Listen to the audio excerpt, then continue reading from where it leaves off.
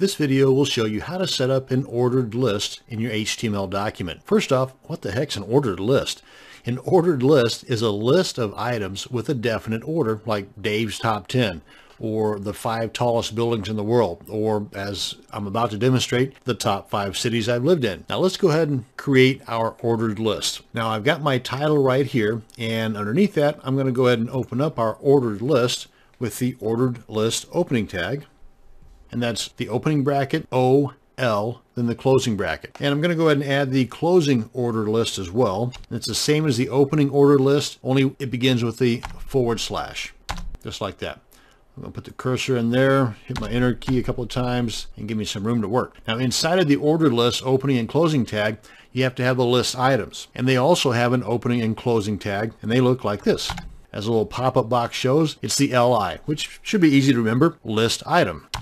Like I said, each of those have their opening and closing tag. Now let's go ahead and enter the top five cities that I've lived in. And that's our ordered list. Let me go ahead and back this guy up a little bit. Let's go ahead and save this.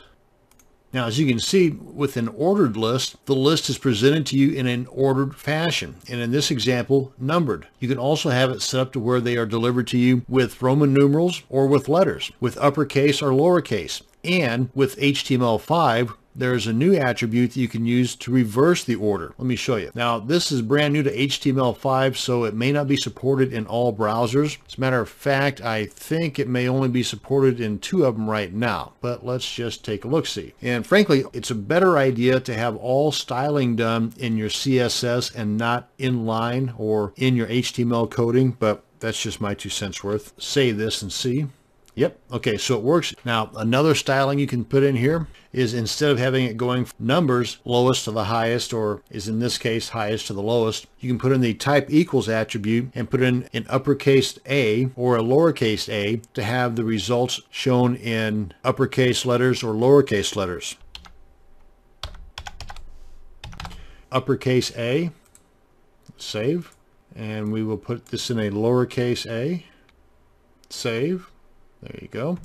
Now then the other one that I know of is Roman numerals. Likewise, uppercase or lowercase. That's the uppercase I for the Roman numerals in uppercase.